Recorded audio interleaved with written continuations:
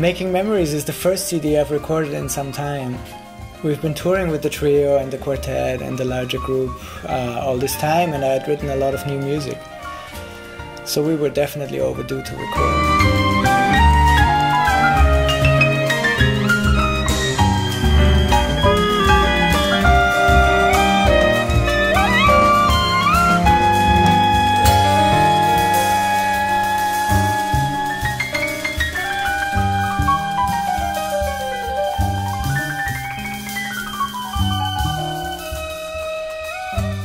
Title Making Memories refers to the importance of creating good memories in life, because in the end, they will be what remains with us forever.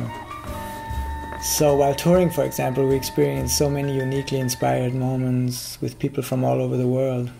And many of those become unforgettable memories which continue to shape and change us, and which we will cherish for the rest of our lives. So, that made me want to write the title track Making Memories.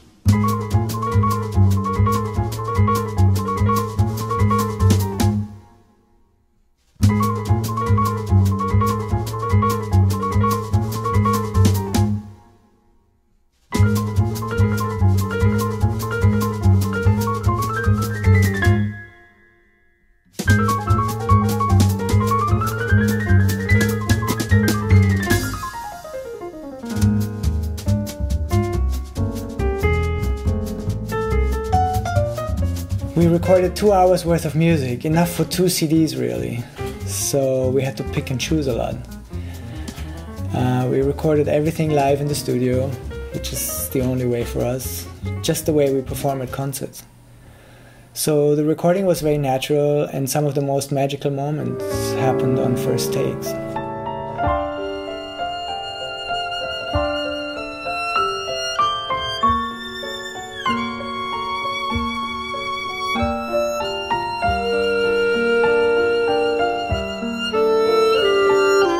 Making Memories features all original compositions of mine.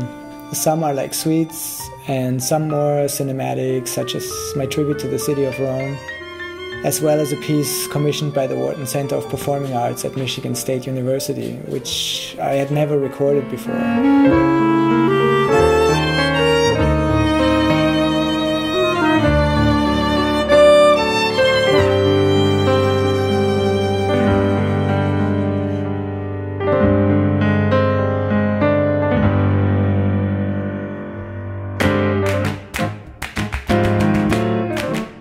It was particularly gratifying to have Paquito D'Rivera record with us, since he's been performing with me as a special guest on so many international occasions over the last few years.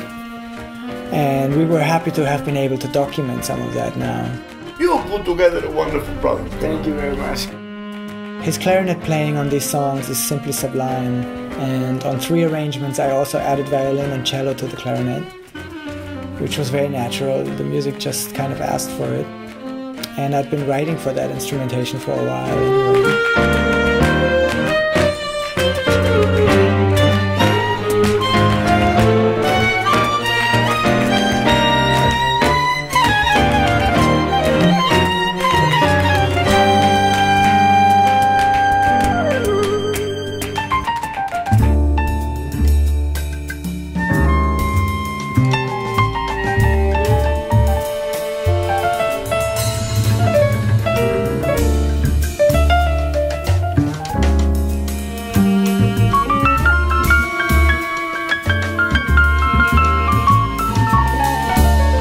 Some of the music is just the trio.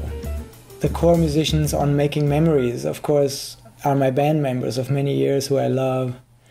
Marcello Pellitteri plays drums on all but one track, which features Gene Jackson.